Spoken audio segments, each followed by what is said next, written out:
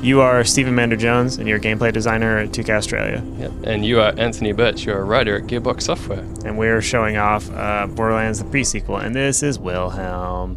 Turn him around so we can see that beautiful face. Yeah, he uh, is a boss in Borderlands 2, uh, but before that happened, he was a dude. And this game is, um, The origin dude story. yeah, it's the origin. It's about dudes. It's just about where dudes come from.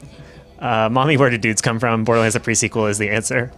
Uh, so basically, yeah, this takes place, place between Borderlands 1 and 2. So he's a dude who gets hired by um, Handsome Jack to stop some bad dudes from doing stuff on the moon. Can I say dudes more often? And now we're going to go into his skill tree because it actually ties into his character growth uh, into the cyborg we meet in Borderlands 2. Yep. So his action skill is the skill to summon his dudes, um, Wolf and Saint, who are actually combat drones, not combat dudes.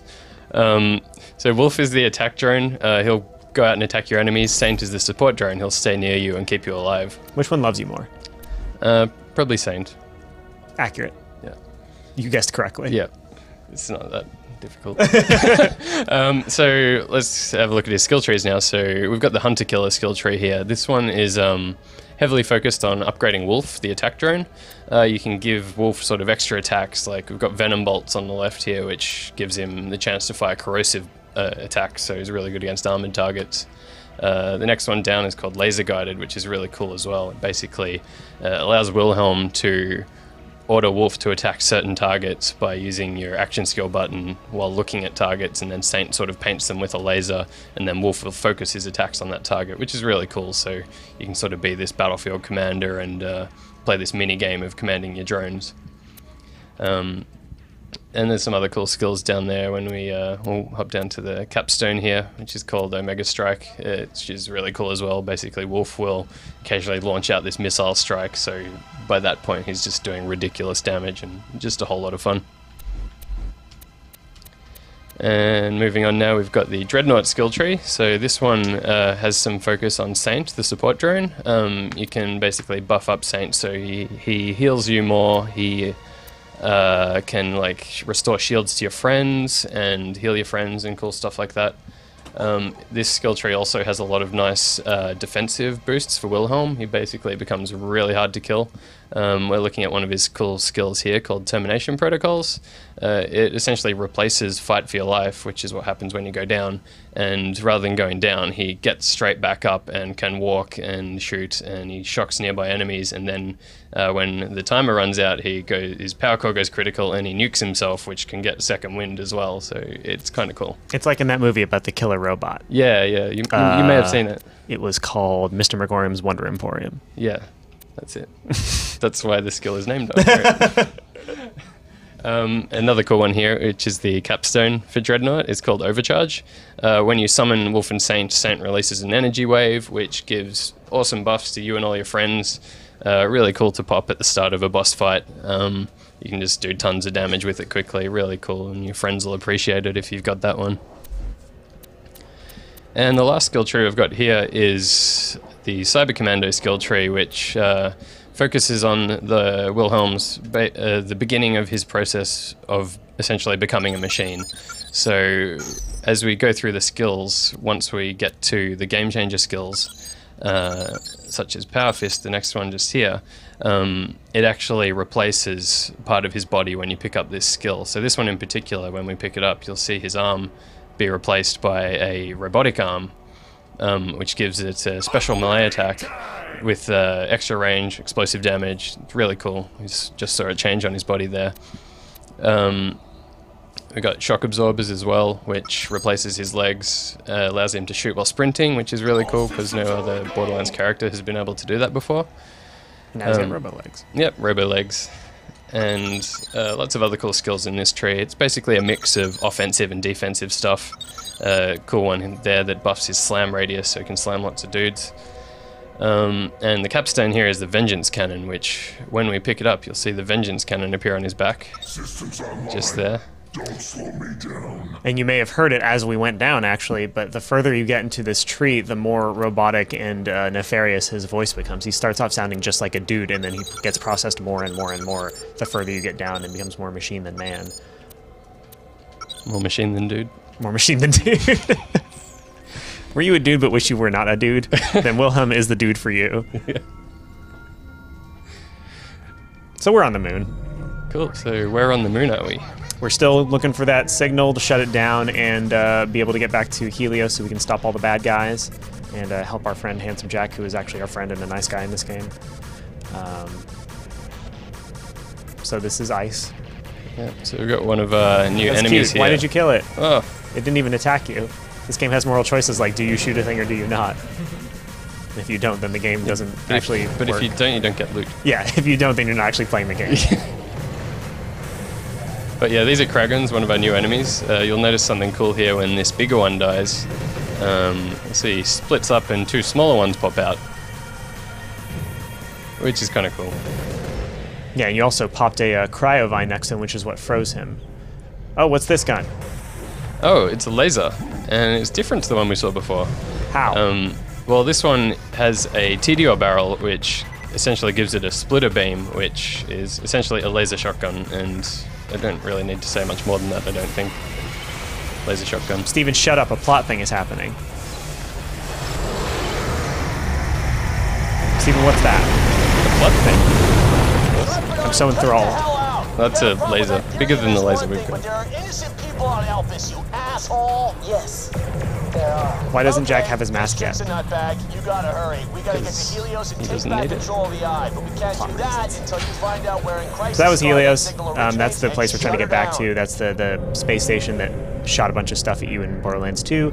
Jack was helping build it at the beginning of this game when he hired you to uh, to uncover a vault and open it, and then you got attacked by some other dudes. Notice Wilhelm is really fast at reloading that laser gun because uh, Chris invested in the skill that makes him better with laser guns. Was Athena faster? One day I'll take another gander at that No. thing. So this is Peapot. He's just a side quest character. He's fun. He's one of them. Oh, what's going on? Kraggons! This is the worst thing that's ever happened to me. Destroy them. Uh, we've got a slam going on there, and you will have seen that the slam actually did shock damage. Uh, that's one of the things that uh, Ozkits can do. Ozkits are one of our new pieces of gear. It does stuff like give you your oxygen supply, some other buffs, and it allows you to slam. And you can get Ozkits that uh, change your slam into different elements. So Wilhelm right now obviously has a shock one, which is really handy. So if you've got all your weapons of one type and you sort of want coverage of a different element, you can use your Ozkit to get that element into your arsenal. Chris should use his uh, action skill. I want to see Wolf and Saint. Yeah, do that. Look it up. There they go. You can see Wolf cruising around, firing his his attacks.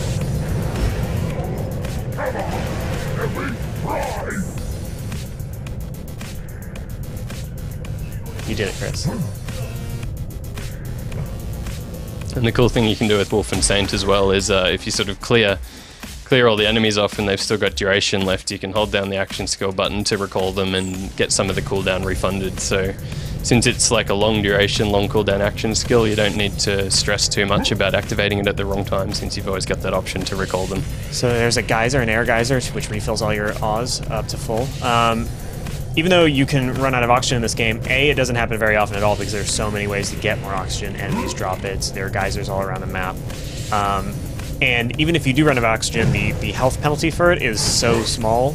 Um, basically, oxygen runs out just to be a resource that balances out how often you can double jump and do slams because those are really powerful uh, maneuvers, and I just didn't want you to be able to do that all the time without any consequence whatsoever. Here's another way to get oxygen. Look at this thing. What's this thing, Steven? Uh, this is an oxygen generator, so you can see as it comes on, this dome appears, and then this whole area now has oxygen in it. Um, the other cool thing with this is there's some other effects that um, occur whether you're in or outside atmosphere. Uh, the obvious one is uh, incendiary weapons, so you can't catch on fire if you're in a vacuum because there's no oxygen to burn. Um, and that can work two ways. So if you've got a cool incendiary weapon, you sort of want to be in the atmosphere to ignite people, but if you've got enemies trying to set you on fire, you might want to switch it off so that they can't set you on fire. Uh, and you see we've just got the vengeance cannon popping out because your shield went down. So if we start shooting, you'll see all the big uh, fire blasts it does. It's kind of destructive.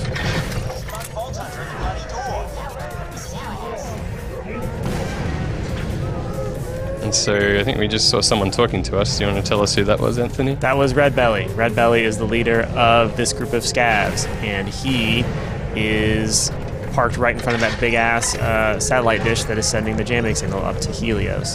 So we're gonna have to fight our way past Red Belly um, and stop the jamming signal because we want to save the world because we're the good guys in quotation marks because even though we're actually working to save a bunch of innocent people, by the time Borderlands 2 comes around, most of these characters are uh, bosses. So the question is, Stephen, uh, are we heroes or is everybody just villains? What is it? Which is it? How does Uh, morality work? Talk to me. Ev- everyone, everyone's a hero. Incorrect. Everyone is the worst. Anti-heroes are fun. Um, so Chris died. Yeah, he managed to kill all the enemies and then die. Yeah, which is impressive in its own way. More Yeah. impressive than if he had just played like a good player and survived. so we're gonna watch him trudge back. But look at that skybox. Look at those colors. Not, not like up like that. I meant like I was talking to the viewer. God, I hate you. Wait, n- not me for clarity. No, not you. No, I like you. Welcome to comms facility. I like I that's that makes me chuckle a little bit every time that like in a, You're a stealing their money instead of shooting them. or not that you're stealing their money, but that in a, in a no oxygen environment, the uh, the safes just pop off entirely. They don't just open normally. So we saw no, his robot ex- punch there. Explosive decompressurization. Yeah, I would pressurize my money too. Yeah, Um, it doesn't so he is good at punching things to stun them with that awesome robot punch. It knocks the enemies back and does a lot of explosive damage to them. So you can actually use it to try to stun enemies that are doing a buttload of damage into uh, to you to uh, basically stop shooting you. He's flying to meet his um, his creator. um, yeah, usually like in Borderlands 2, your answer to what happens when I should when I take damage is well, you should probably take cover. In this game, because you have so many mobility options, it seems as if uh, you would have the ability to freeze things, or to punch things and stun them that way, or to slam and then knock them back that way, um, or to shoot a, a cryo barrel next to a, a bandit and then shatter him into a bunch of pieces, and then get shot from behind because you're not actually paying attention to what's going on. I'm Chris Failer. But yeah, it's, it's a good point you make about the cover and stuff. Like with the low gravity cover, uh, you sort of view it completely differently because if there's an enemy hiding behind cover, you can be like, well, I don't really care. I can just jump up into the sky and drop a rocket on your head. Um, but This is the word. but conversely, like if you're hiding behind cover, the You enemies the enemies have jetpacks and stuff as well, so they're going to be coming at you from above too. So you can't feel You too should safe. just suicide. Yeah, you're not come going back to at you're this not guy. going to kill him. You're, gonna- you're going to want to use your lasers, Chris, because you spec into a skill that gives you more laser damage. And then use Wolf and Saint. And I should be playing. You're the worst. this game is, um, It's hard apparently. yeah. This is GoldenEye 64 if you're just joining us. Playthrough 2. Yeah. Oh, yeah, we're on True Vault Hunter mode, so the game actually is harder, generally. So Chris has like half of an So if you're, if you're a first time player like Chris, don't play Yeah. don't play playthrough two. There we go. We're, Now- off to, we're off to a good start this time. Yeah, now start sprinting around. Make sure you still get your sprints going on, and then uh, be shooting at him. You actually may want to take some cover now, even though I said this isn't necessarily a game about taking cover. You may want to, so Saint has some time to heal you while the big badass guy is, is ruining your day. Your vengeance cannon did a couple shots on him. Well, the cool thing there was uh, run. Wolf is taking a lot of the aggro off you because he's good at annoying the enemies. Right. You can do this, Chris. You can do it. Dream big. Bar Hey, mitzvah! Finish. You did it. You became a man today. Hey, what's that? What's that? That's a moonstone. What's a moonstone? That's uh, that's one of our new currencies in uh, Borderlands, the pre-sequel. It uh, it sort of has a similar role uh, as Iridium did in Borderlands 2. But canonically, it doesn't make sense that Iridium would be on the planet this time because Iridium didn't show up until Borderlands 2. What's that all about? Yeah, that just makes sense, right? Yeah. Yeah. Um, but there's also some uh, new things that uh, moonstones will be used for, which we're not talking about just yet. But yeah, there's definitely going to be some more varied uses than uh, just iridium. Chris just took a, mun- uh, a turtle shield, which reduced his maximum health by almost 50%. I'm sure this is going to work out really well. Saint is secretly crying.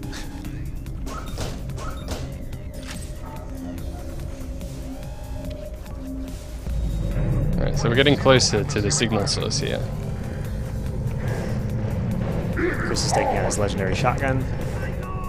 So uh, you may have noticed it earlier, but he, uh, if you ever shoot a, a scav in the head when they have one of those um, oxygen helmets on, you, oh my god, you almost just blew yourself up with a grenade, your own grenade. Um, it will pop their oxygen helmet and they'll begin to asphyxiate, which means uh, a couple things. One, they will take some dot damage. uh, damage over time, rather. Two, uh, they will, for a brief period of time, stop attacking you as they're too busy going, oh god, ow. And Uh, and three, they look like who? they look like Arnold Schwarzenegger at the end of Total Recall. Nice setup, yes, thank you. Well, you almost missed it again. I almost, I would absolutely 100% would have missed mentioning Total Recall again for the fourth time. Nice. Ah, that was a good stomp. That was cool. I think you actually blew up a cryo barrel as well. Yeah, so- which is why you're now frozen Yeah. and dying. That's all right. Just kill that guy. He's a unique enemy, I'm assuming, named Moonstruck? No, Moonstruck is uh, the playthrough 2 version of the Lunatics. Oh, right, right, right. Okay. They're pretty tough. I keep forgetting when I'm playing. Yeah, and the the cool thing about uh, the Lunatics, which are kind of like the Psychos in Borderlands 2, is that. Oh my god, I just got Lunatics. Really? I just got the joke. Holy shit. Oh, god damn it. Sorry, what were you saying? I was going to talk about their jetpacks, but I go think ahead, what no, you, go ahead, go ahead. Well, with the with the moon environment being uh, sort of a, a different pace of gameplay, there's there's the lunatics have adapted to that too, and they actually have little booster packs where they will do this flying dash towards you. So they're not quite as predictable as the psychos in Borderlands 2, and they'll sort of be in your face a bit quicker. Asphyxiation. So much asphyxiation as you pop all those helmets.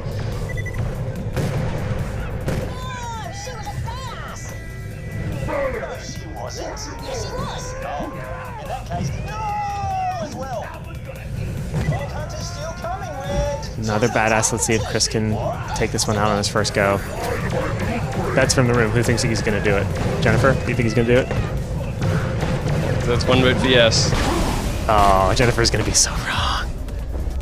Uh, I think I've got faith in Wolfenstein. Ah, okay. Yeah. I think Wolfenstein. Not yet. Don't put your faith in Chris. Put your faith in Wolfenstein. Yeah, I do. Love that MIRV grenade. Oh, God, I love the knockback from the stun. It's it, or from the slam. Yeah. It's such a nice little disruption in, in combat. It adds a really nice element of utility to it. It's not just a damage thing. Yeah. It's, it's good against uh, like lunatics because you can say, "Hey, get away from me! I don't want you punching Shoot him in the head, in the Chris. face." Shoot him in the head. You want crits? Oh, Jennifer's face was misplaced. God is dead and we're alone. Chris Failer, Borderlands pre-sequel. I don't know. So yeah, this was uh, just a little bit of Borderlands the pre-sequel. I'm Anthony Birch. I'm Stephen Manda Jones.